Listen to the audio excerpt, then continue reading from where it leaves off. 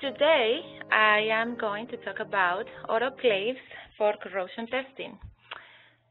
The selection of the environment needed to test materials uh, when you need to use them in H2S and CO2 environments depends entirely upon the intended application of the material in the oil field. In oil and gas production, it is common to find water present in the production fluids. This presence of an aqueous phase induces the severe corrosion attack and damage of the metal's downhole, especially in sour gas and in highly water-cut oil wells.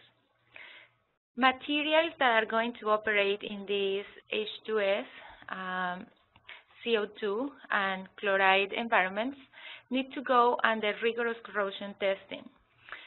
The most important parameters to control in corrosion testing are usually uh, partial pressures of the reactive gases, temperature, and the chloride content. Now, today I will explore, explore the construction of an autoclave using OLI flow sheet ESP to identify the liquid composition that is in contact with the alloy, and then I will evaluate the corrosion rates of a determined alloy using OLI Studio Corrosion Analyzer.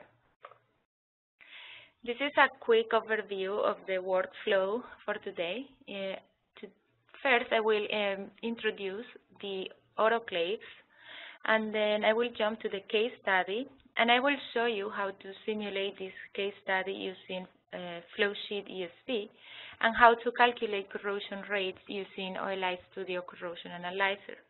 Then uh, we will jump to the conclusions and the Q&A section.